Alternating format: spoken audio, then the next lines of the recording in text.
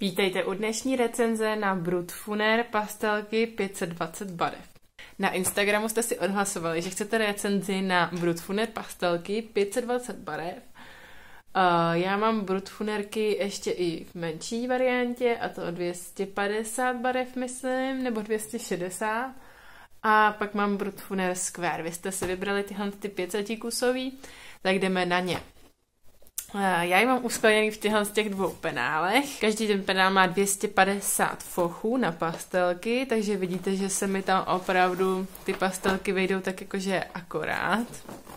Pastelky přišly v takových dvou krabicích, kartonových, celkem pěkných. Já jsem si je odnesla do práce, mám je tam na nějakou další práci, na nějaký uskladňování.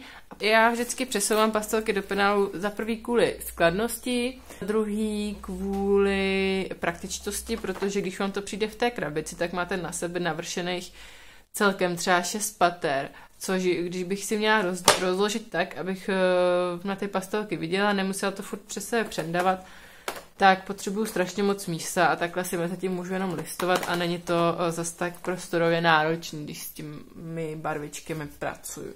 Penály jsem koupila opět na AliExpressu, dám vám když tak dolů eh, pod video odkaz. Pokud je uh, najdu, jsou látkový a mají takhle poutko, že když někam jedete, tak si to můžete hodit i přes rameno. Pastelky přicházejí v celkem dobré kvalitě, nejsou tedy ořezané do špičky, takže musíte ořezat, pokud rádi pracujete s pastelkou do špičky. Na pastelce vždycky najdete název pastelky a najdete tam i řazení podle toho, eh, koliká, té, koliká ta pastelka je z těch 520 kusů. Na druhé straně pouze malé logo uh, Brutfuner. Ta pastelka nemá udělaný žádný hezký moc zadeček, lakování takové obyčejné, prostě levné. Jsou to pastelky, které seženete za výhodnou cenu a máte hrozně moc barev, na což já jsem ujeta. Jsou to pastelky, které podle mě mají úplně nejvíce barev ze všech pastelek. Pastelky s větší barevnou škálou neznám. Jsou ještě pětistovkový Felicima japonský pastelky, ale ty jsou pětistovkový a tyhle jsou 520 kusů. Takže o 20 kusů vlastně pastelek e, více. Já mám ráda velkou barevnou škálu pastelek a to kvůli vrstvení eh, pastelek na sebe, kvůli stínování a tak dále. Mám tady obyčejný kancelářský papír a pojďme se na to podívat. Ty barvy jsou poměrně sité, víceméně odpovídají tomu, v jakém laku je pastelka uložena. Dělají trochu bílá místa, jak si můžete všimnout, ale není to tak strašný. Celkem hezky se na sebe vrství. Pojďme si ukázat, když budu chtít třeba přejít do žluté barvičky. Když přecházím do žluté barvy, tak vždycky si beru světlejší většinou odstín, kterým to pak sjednocuju a přejedu celou tu barvu. Přechod tam je vidět. Vidíte, že tam není ten přechod úplně plynulý, ale kdybych si s tím vyhrála, tak nějakým způsobem ten přechod tam bude poměrně hezky plynulý. Musela bych asi hodně k sobě hledat ty barvičky, jak k sobě ladí. Vrstvení, přechody, stínování je s těmi pastelkami náročnější. Je vidět, že jsou to pastelky z levnější cenové kategorie. Těmito pastelkami jsem zatím vybarvila pouze jeden obrázek, a to tento od Johany Passford z knížky Ivy and Inky Butterfly, myslím, že je tenhle ten obrázek. A tady vidíte, že já jsem přecházela z různých barev do dalších. A ty přechody, když to přiblížím, tak jsou trošku znatelnější, než uh, bych si asi úplně přála. Třeba tady je to hodně vidět, jo. Když přecházím z té zelené do té modré, tak tady je ten přechod opravdu výrazný. Mm, a pak výraznější je i tady mezi tou oranžovou a žlutou. Takže jako není to na to stínování úplně ideální. Na tom modrém podstatě tady vzadu je vidět, že ty pastelky nekryjí až tak, jak bych si představovala. Jsou tam stále bílá místa, i přesto, že jsem na sebe dala uh, několik vrstev, podle mě tři, čtyři vrstvy určitě. Dále tady na tom trávníku je vidět, uh, jsou vidět hodně tahy, takže jsou to opravdu pastelky jedny z těch levnějších, které tu cenu jsou skvělý, je jich hodně, uh, jsou různorodý. Pastelky mám teda z AliExpressu, stály okolo 5000 korun, přišly pěkně zabalené, bezpečně zabalené, řekla bych, že nadstandardně. přišly poměrně rychle momentálně, také najdete na AliExpressu okolo 4 až 5 tisíc korun. Na Amazonu, jelikož uh, oni pochází z Číny, jsou to opravdu čínské pastelky, tak na Amazonu vychází minimálně dvojnásobně dráž, takže doporučuji určitě objednat na AliExpressu, pokud byste chtěli objednat. Za mě, pro začátečníky skvělá investice, pokud chcete hodně barev, tak je to prostě skvělá investice.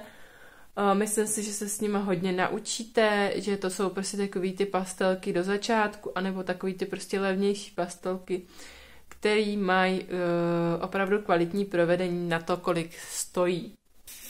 Pojďme si ještě od každého odstínu vytáhnout jednu barvu a zkusit nějakým způsobem si ji tady načrtnout, ať vidíte nějakým způsobem tu pigmentaci té pastelky. Z hlediska žlutých uh, jsme už tady zastoupili teda barvičku, ale tady vytáhnu Celadín. Ta je hodně světlá. Taková sluníčková. Tak, a je uh, taková méně výrazná. Z těch žlutých uh, je tam asi méně, než bych očekávala. Čekala bych, že, že to zastoupení těch žlutých barev bude mnohem vyšší. A upřímně řečeno, ta škála těch, těch žlutých barev mě uh, trošičku zklamala. A není jich tam tolik, kolik bych si představovala na to množství pastelek. Zastoupení oranžových pastelek to je takový standardní, jako prostě všude bych řekla, v každých pastelkách to zastoupení těch oranžových pastelek není moc vysoké. Najdete tu poměr, tak okolo deseti oranžových odstínů pastelek tu najdete. Zastoupení odstínu červené už je poměrně pestré a krásně přechází do fialková až růžová.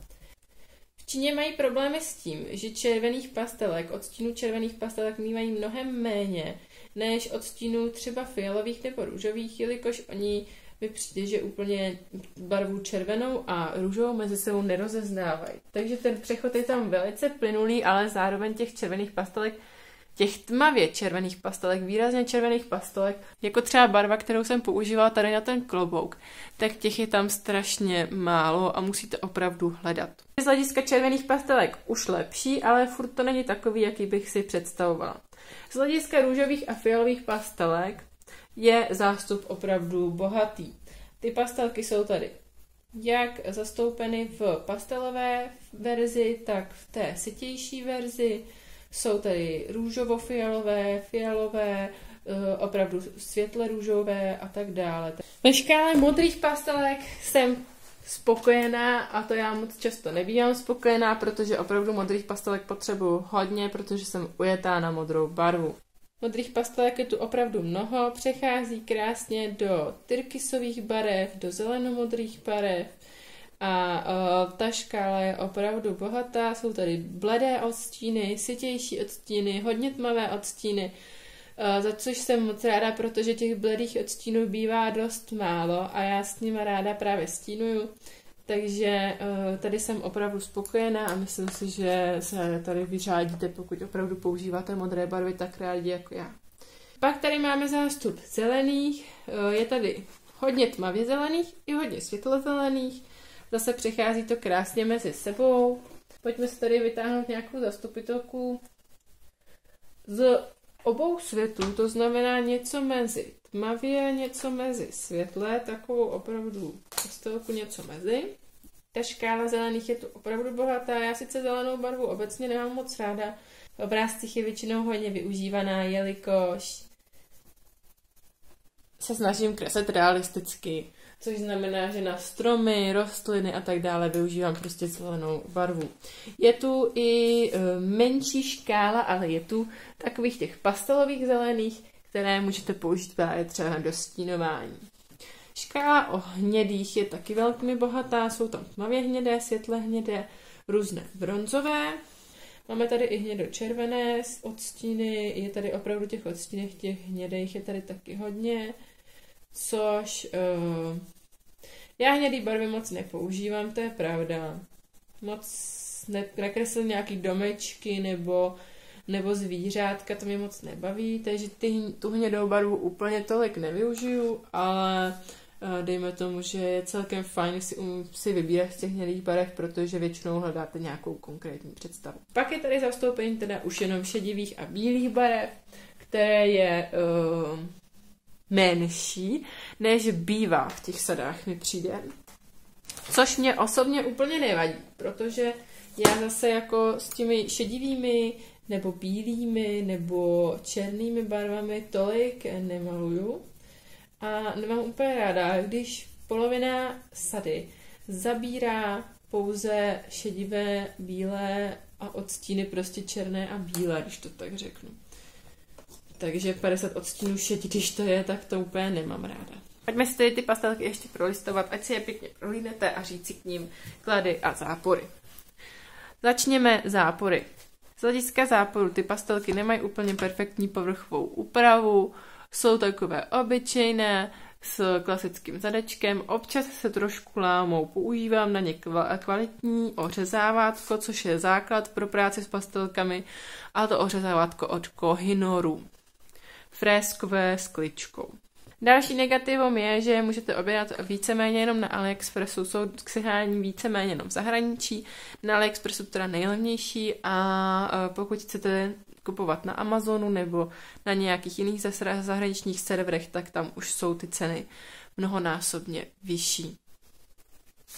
Negativum vrstvení, které jsme se tady ukazovali, je uh, celkem zřejmé. Ty, ty přechody tam nejsou plynulé, jsou výraznější a pastelka na sebe zvládne navrstvit možná tak 3-4 vrstvy a uh, stejně to nedotáhnete úplně k dokonalosti, jak si představujete.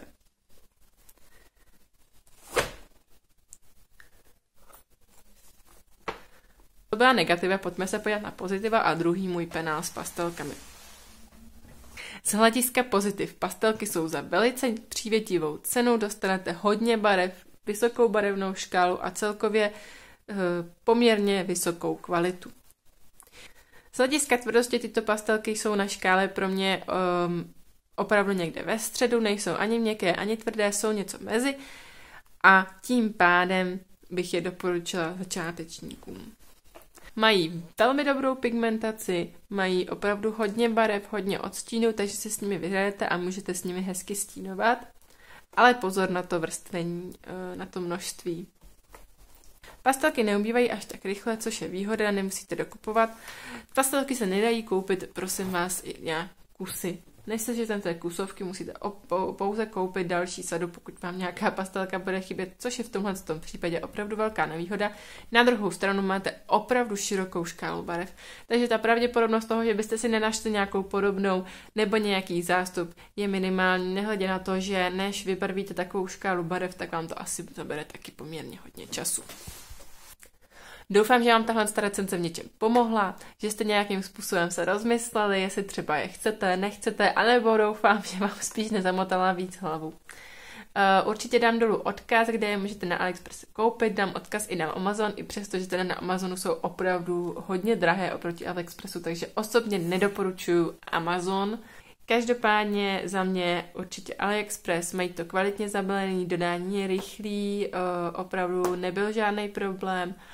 A já myslím, že to mají líp zabalený, než když to právě dostanete z toho Amazonu, kde Amazon do českých zemí doručuje opravdu stylem pouze krabice a žádné bublinky, žádné výplně, prostě nic, všechno tam lítá. Tady vám to přijde zabalený v bublinkách, opravdu třeba v 5 cm vrstvě, takže uh, ty pastelky jsou chráněny a nemělo by se s nimi nic stát a je pravda, že občas se nějaká zlomí ale uh, to je standardní postup u všech pastelek a pokud používáte kvalitní ořezávátko, tak ty pastelky se nelámou. Kdybyste měli nějaký dotazy, tak určitě napište pod komentář. Pokud se chcete podílet na tom, co se bude recenzovat, na co se společně podíváme a uh, co spolu další týden projdeme, tak mě sledujte určitě na mém Instagramovém účtu LM Coloring Diary, kde se snažím být uh, každý den aktivní, tak snažím se tam dávat tyhle ty this or that a nějakým způsobem tam společně vybíráme, co by vás zajímalo, co, co byste chtěli vidět a co byste chtěli zrecenzovat. Mějte se hrozně hezky.